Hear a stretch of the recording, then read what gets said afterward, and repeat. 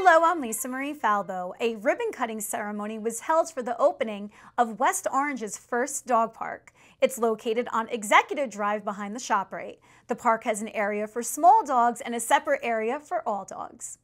TGI Fridays closed its location on Route 70 in Brick. Back in January, the restaurant announced that it would be closing 36 underperforming locations as part of an ongoing growth strategy.